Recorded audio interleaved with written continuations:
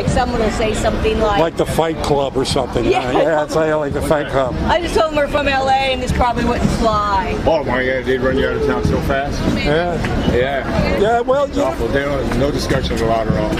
yeah. Yeah. There's been a few actors though that have come out, but I mean, they There got the are. status. Do have Clint Eastwood come out John saying anything? Oh yeah, but You know, you have to be. yeah, would. you're You, that have to be super status to, Yeah. you know, to do oh, it. Although, who was telling you, or someone was telling us there are a lot more than you think. I forget. Someone was telling you.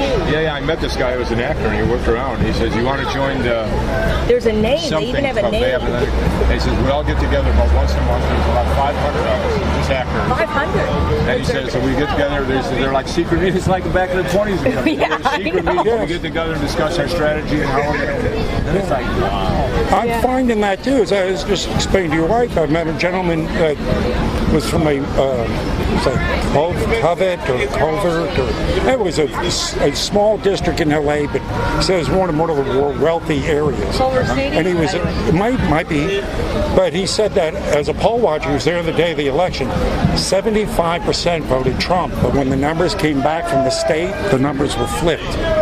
Really? Yeah. Oh, I wonder if that's true. Yeah, I know. And I've talked to other people from LA, other active people involved with them, and they primarily said what you just said that there's a lot of undercurrent. Yeah. People, you know, keep but when they find out, you know. It's like a secret thing. Like we listen to talk radio out there, and they advertise on the um, like the Dennis Prager show and stuff. It's called Relief Factor.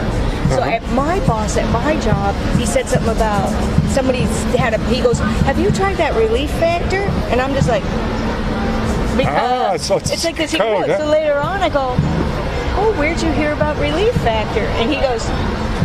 Well, on the radio, and it's like this, you Then know. you know you got and it. then all of a sudden, it's like, wow, you know. And then every day, it's like, what did your president do today? so, but have you seen things in it's because I mean, obviously the polarities are getting stranger and stranger. I know it's crazy. Yeah, I know.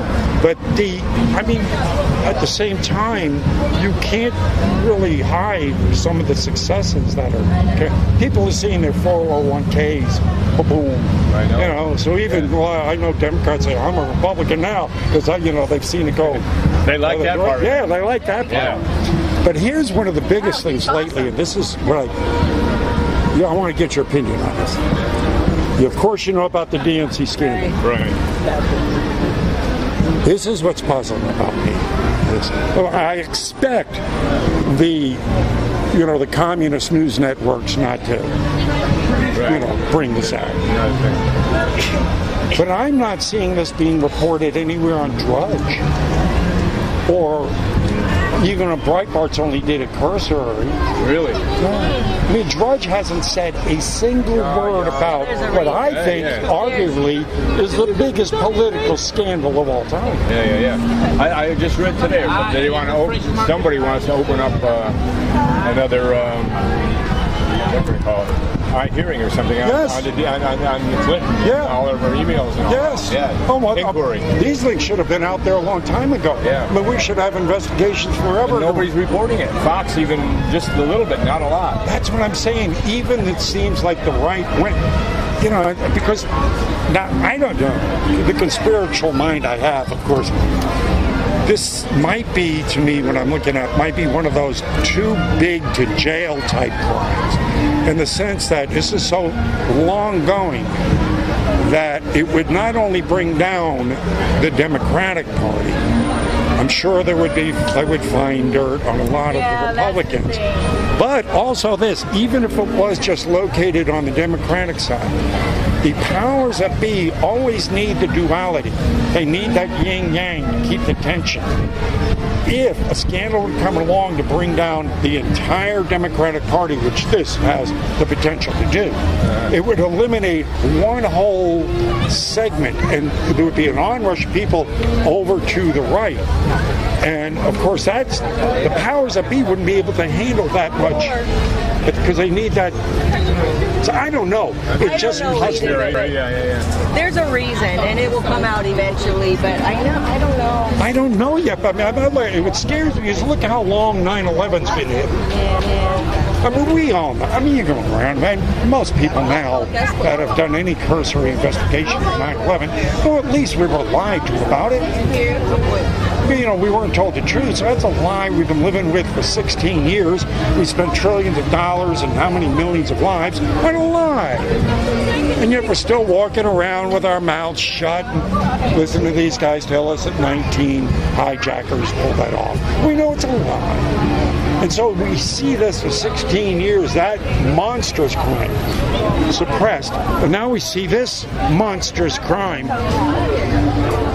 I want, and I'm hoping that because of social networks now, because of the internet, we can go ahead and overcome the silence that we have. And you know how Breitbart came out of nowhere, Yep. social media, and Drudge too. You know, somebody else could come out. We could, you know what? You're doing it.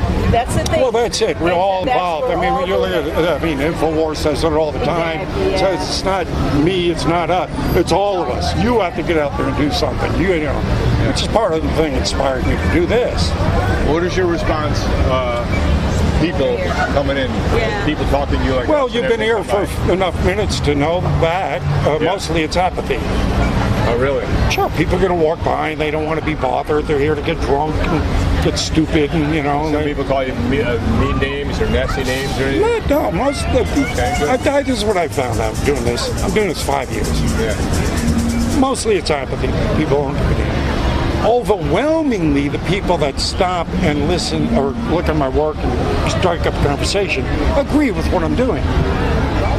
The ones that have contention will either walk by silently, they might give a look or a word or shoot a bird or give a derogatory comment. But I find them to be collectively dumber than a trainload of hammers and they're cowards. If they challenge me, I challenge them back. I say, I'm going to put up $10 to your one. We're going to have a conversation. And when I say something you think is stupid, we'll look it up and then I'm going to take your money. do you do the posters? Yes, it's my one. And I have more disrespectful ones. And I have more disrespectful ones on the other side if you care to peruse I don't care. Yeah. Come on, bud. You got to peruse it too. Come on, bud.